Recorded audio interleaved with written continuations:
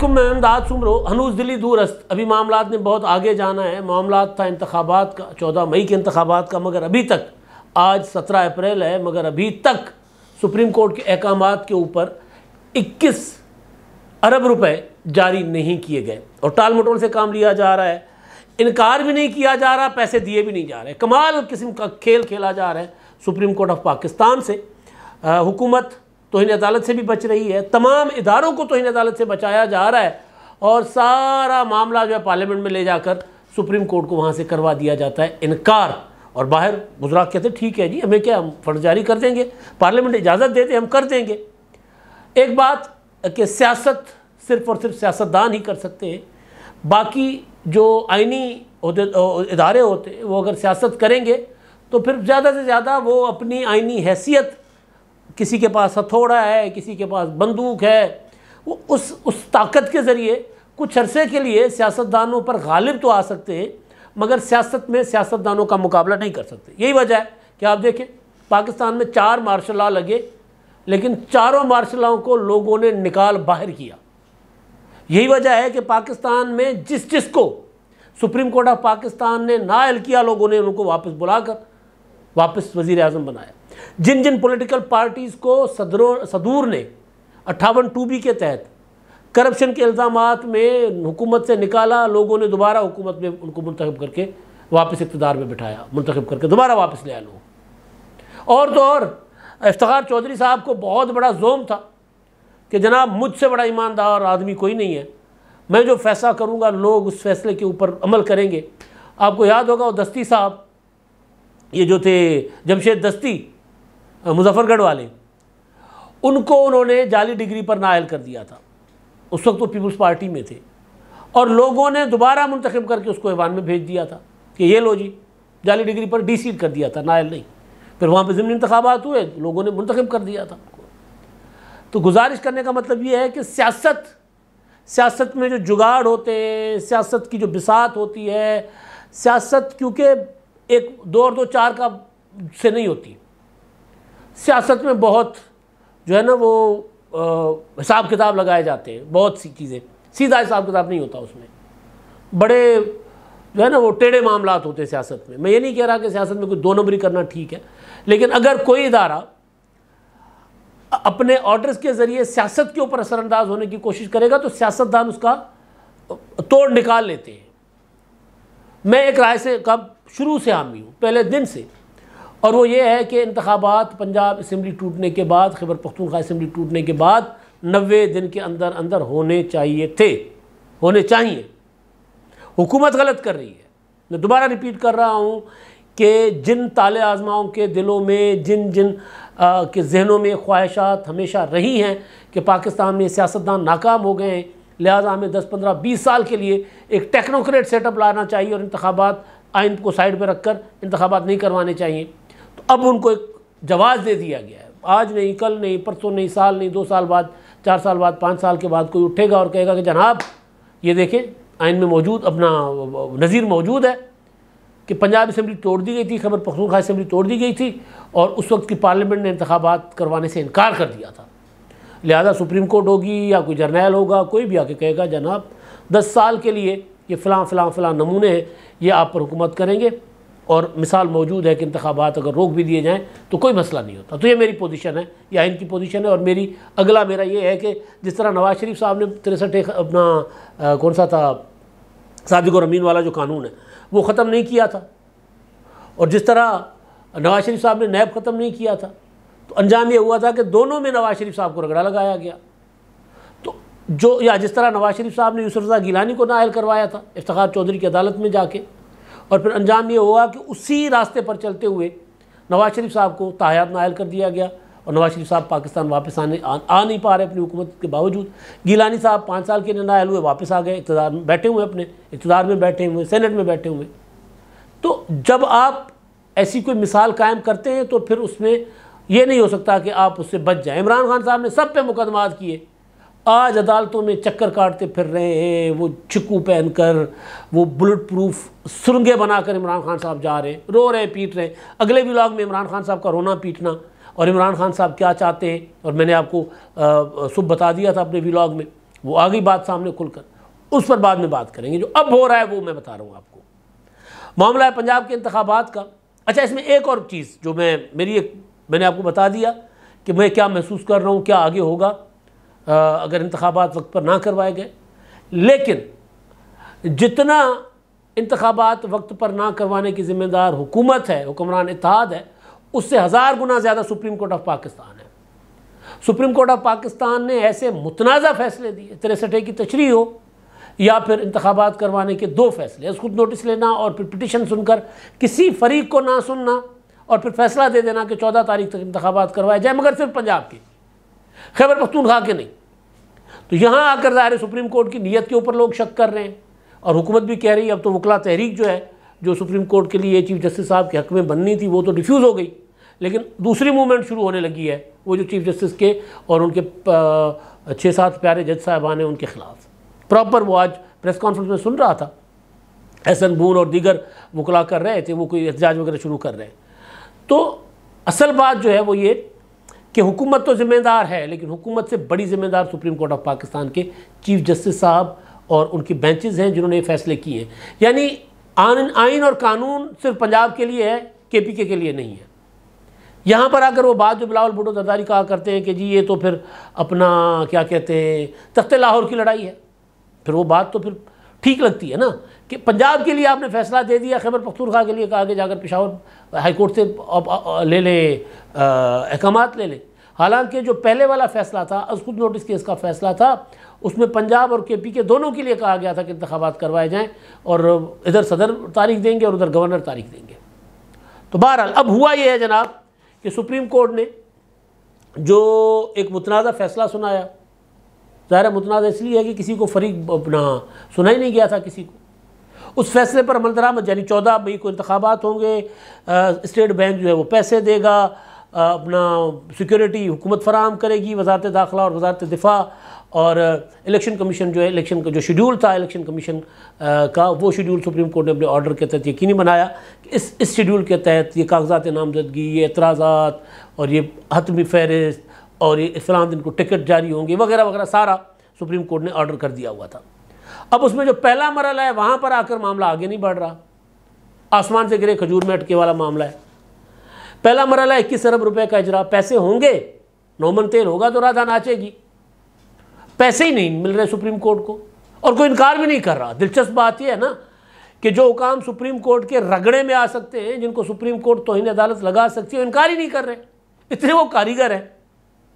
वो आज जो डेवलपमेंट्स हुई हैं, आज क्योंकि सत्रह और आज की तारीख जैसे ख़त्म होगी तो उस वक्त तक सुप्रीम कोर्ट के अहकाम के मुताबिक पैसे इलेक्शन कमीशन को जारी हो जाने चाहिए और फिर रिपोर्ट सुप्रीम कोर्ट में जमा करनी है।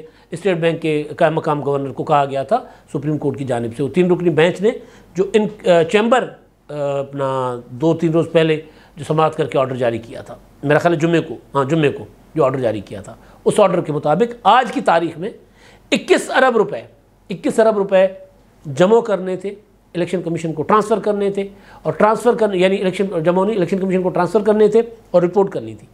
तो हुआ क्या? कायमा कमेटी की सुबह मीटिंग हुई।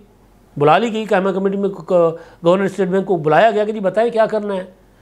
अपना वज़ीर कानून ने बताया कि जनाब हमारे पास जो फंड्स होते हैं सरकार के, वो तो हम फंड ऐसे जारी नहीं कर सकते और इलेक्शन ऐसा मामला है जिसके लिए बजट में मंजूरी ली जाती है या सप्लीमेंट्री बजट पेश किया जाता है, ग्रांट दी जाती है तो ऐसा तो हम कुछ किया नहीं अपना पार्लियामेंट तो इजाज़त दे नहीं रही। तो जो कंसोलिडेटेड फंड होता है, वो हम तो जारी कर नहीं सकते, वज़ीर कानून ने कहा। फिर पूछा गया कि जनाब आप जो स्टेट बैंक के गवर्नर से, कि जी आप क्या कर सकते हैं? तो उन्होंने कहा कि जनाब, हमने तो सुप्रीम कोर्ट को जवाब दिया था, कि जी हमारे पास पैसे पड़े सुप्रीम कोर्ट का हुक्म आया, पैसे मौजूद हैं, और हम मुख्त कर सकते हैं पैसे।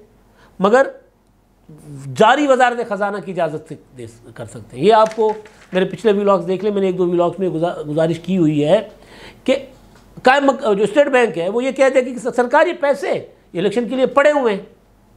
जैसे जैसे इलेक्शन का बाकी मामला बाकी शेड्यूल पर अमल दरामद होना शुरू हो जाएगा, हम इलेक्शन कमीशन को पैसे देते जाएँगे।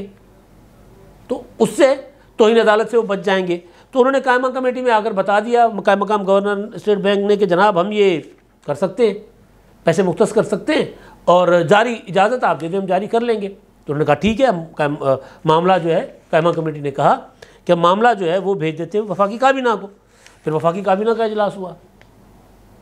तो वफाकी काबीना ने, अभी जब मैं बात कर रहा हूँ, उससे कोई एक घंटा पहले वफाकी काबीना ने फैसला कर लिया। उन्होंने कहा कि जी, मामला पार्लियामेंट में जाएगा फिर। यानी वफाकी काबीना ने भी इनकार नहीं किया। उन्होंने कहा, ठीक है, मामला आया है, पार्लियामेंट से इजाज़त लेके हम फैसला कर लेते हैं। मामला फिर पार्लियामेंट में चला गया। अब ये पूरा अभी तक पार्लियामेंट से पहले तक का जितना प्रोसेस है, यानी स्टेट बैंक के बाबू हो, कायमा कमेटी में बैठे सियासतदान हो, चाहे मुआशी माहिर हो वहाँ पर हुकूमत के या कानूनी माहरीन हो, किसी ने ये नहीं कहा कि सरकार हम पैसे नहीं देंगे। सबने कहा, जनाब, हाजिर, पैसे बहुत, पैसे किधर गए? पैसे सारे डगे नहीं खाते जानवर नहीं खाते पैसे ही पैसे, पैसों का मसला ही नहीं है। इजाज़त का मसला है सरकार। इजाज़त का। अख्तियार नहीं हमारे पास। मैं सुन रहा था अली मूसा गिलानी ने कहा कि भाई, मेरे अकाउंट में पैसे पड़े हों तो मेरे बाप भी वो वहाँ से नहीं उठा सकते, मेरे वालिद साहब भी नहीं ले सकते पैसे। तो स्टेट बैंक कैसे सरकार के अकाउंट में से पैसे किसी को ट्रांसफ़र कर देगा? ये नहीं होता। और बात ठीक है, क्योंकि रियासत पाकिस्तान के पैसे, बेशक स्टेट बैंक रियासत का बैंक है, मगर वो ऑथोराइज नहीं है। कि वो कौम के पैसे, सरकार के पैसे उठाकर किसी मद में दे दे। नहीं भाई, वो पैसे पार्लियामेंट की इजाज़त से खर्च होंगे। लेकिन इनकार किसी ने नहीं किया। किसी ने भी सुप्रीम कोर्ट ऑफ़ पाकिस्तान को ये नहीं कहा कि सरकार हम पैसे नहीं दे सकते। सबने कहा, हाजिर, बहुत पैसे। पार्लियामेंट कह दे। अब आज ही वो पार्लियामेंट में मामला जाएगा, या जा चुका होगा अभी तक। और पार्लियामेंट ने दोबारा उसको सुनना है, और पार्लियामेंट एक बार पहले तो उसको मुस्तरद कर चुकी है। यहाँ तक के पार्लियामेंट में उस दिन जो कायमा कमेटी के चेयरमैन हैं, कैसर शेख साहब, उन्होंने इजाज़त चाही थी बिल पेश करने की। बल्कि उन्होंने रिपोर्ट पेश की थी, रिपोर्ट पेश की थी कायमा कमेटी की, जो गुजशत मीटिंग थी उसकी, क्योंकि पहले भी सुप्रीम कोर्ट ऑर्डर कर चुकी हुई थी ना। तो गुजशत इजलास में उन्होंने जो इजलास था कौमी असम्बली का, जिसमें मुस्तरद कर दिया गया था, ये किस तरफ़ के इजरा को का बिल का, बिल को। तो उन्होंने रिपोर्ट पेश की थी कि कायमा कमेटी ने ये ये फैसले किए और उस फैसले की रोशनी में जो है वो आ, एक करारदाद पेश होनी थी। करारदाद कह रहा हूँ मोशन पेश होना था तहरीक पेश होनी थी। क्योंकि कोई भी कानून या बिल बिल की मंजूरी फ़ंड्स की उसके लिए पहले मोशन इजाज़त ली जाती है लीव ग्रांट होती है। इसाक डार साहब ने इजाज़त मांगी उन्होंने कहा कि जनाब बेशक आ, अपना सूरत ये है लेकिन काबीना मुस्तरद कर चुकी है लेकिन हमने हम फिर भी इधर पार्लियामेंट के अंदर ये बात करना चाह रहे तो उन्होंने मोशन मूव की और ऐवान ने मोशन की इजाज़त ही नहीं दी टेकअप करने की। तो लिहाजा वो पैसों की मंजूरी जो होनी थी, वो मंजूरी तक मरल ही नहीं आया, उससे पहले ही कहा गया कि नहीं जी, हमने नहीं देने पैसे, जाएँ, भागे यहाँ से। आज फिर वही होगा फिर। जब एक एक, कल मैं सुन रहा था राना सनावला साहब कह रहे थे कि जी इंतबात ये भूल जाएँ। ये जितना चाहे ज़ोर लगा लें इंतबात नहीं होंगे।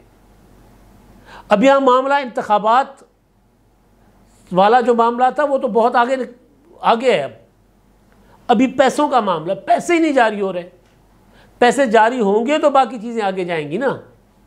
पैसे जारी होंगे, बैलेट पेपर छपेंगे, पता नहीं क्या क्या करना होता है इलेक्शन कमीशन ने उन पैसों से। बड़ा सारे, इतने बड़े इलेक्शन है, बारह करोड़, तेरह करोड़ सूबे के अवाम अपना नुमाइंदगी के लिए इंतबात होने। पूरे सूबे में पंजाब इंतबात के हवाले से, आबादी के हवाले से साठ फ़ीसद है पाकिस्तान का। तो इलेक्शन कमीशन फिर कैसे करेगा इंतबात चले, पैसे जारी हो गए। मैं फ़र्ज़ कर लेता हूँ कि पार्लियामेंट ने पैसे दे दिए। तो आगे क्या होगा? सिक्योरिटी? वो कहाँ से लाएँगे? तो अभी जो मैंने कहा ना, हनूज दिली दूर मसला जो है इंतबात का, चले इलेक्शन कमीशन को भी मतलब पहले कोशिश ये थी कि इलेक्शन कमीशन को बेसिकली ये जो इमरान खान साहब सुप्रीम कोर्ट में गए थे ना उसमें उनकी कोशिश ये थी कि इलेक्शन कमीशन जो है ना, चीफ इलेक्शन कमिश्नर, उनके ऊपर तो अदालत लगा दे। सुप्रीम कोर्ट ने जब लाहौर हाई कोर्ट ने ऑर्डर किया था इंतबात का, उन्होंने रबते शाबते कर लिए थे इलेक्शन कमीशन ने और साथ बता दिया कि इंतबात वो डेट ही नहीं दे रहे, वो अपील में चले गए थे। उन्होंने कहा, हमें भी सुने लाहौर हाई कोर्ट में।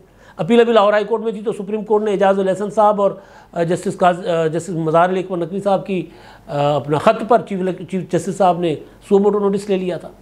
उसके पीछे बेसिक जो मंसूबा था, जो स्कीम थी, वो थी चीफ इलेक्शन कमिश्नर को हटाना, क्योंकि इमरान खान को वो बारे में नहीं है। इमरान खान साहब चीफ खिलाफ हो या चीफ न्यूट्रल हो तो इमरान खान साहब से खेल नहीं खेला जा सकता। जब तक चीफ इमरान खान के साथ ना हो, चाहे वो आर्मी चीफ हो, चाहे चीफ जस्टिस हो, चाहे वो चीफ इलेक्शन कमिश्नर हो। तो इमरान खान साहब ने ये स्कीम लड़ाई थी बेसिकली कि सुप्रीम कोर्ट ऑर्डर करेगी इंतबात की, इलेक्शन कमीशन इनकार कर देगा, इलेक्शन कमीशन ने शेड्यूल जारी कर दिया। शेड्यूल जारी करने के बाद फैसले पर अमल तामील हो गई हुक्म की, और उसके बाद दरमियान में आकर उन्होंने कहा, जनाब, कोई ताउन ही नहीं कर रहा, और हम बेबस हैं, हम इंतबात नहीं करवा सकते, अब इंतबात आठ अक्टूबर को होंगे। सुप्रीम इलेक्शन भी टल गया और chief just chief election commissioner तो इन अदालत से भी बच गया यहाँ पर भी यही हो रहा है। इनकार नहीं हो रहा, इनकार नहीं हो रहा। खेल खेला जा रहा है। बस इतनी सी गुजारिश है हमारे अदलिया से और ये जो इस तरह के आइनी इदारे हैं, उनसे कि सियासत आपके बस का रोग नहीं है। अब आप पार्लियामेंट इनकार कर देगी तो पार्लियामेंट को क्या करेंगे? पार्लियामेंट को तो इन अदालत लगाएँगे, ज़ाहिर नहीं लगा सकते। तो लिहाजा सियासी मामला है, सियासतदानों पर रखते। कल परसों मेरे इमरान खान साहब के एक मद्दा दोस्त से बात हो रही थी। मैंने उनको गुजारिश की थी कि हुकूमत तो इंतबात नहीं चाहती। मगर सुप्रीम कोर्ट ने इस मामले में मुदाखलत करके मुतनाज़ फ़ैसले देकर हुकूमत को जवाब फराम कर दिया है इंतबात ना करवाने का। अब इंतबात ज़ाहिर है में, में होते तो नज़र नहीं आ रहे। अब देखें क्या होता है आगे। अब तक के लिए इतना ही अल्लाह हाफ़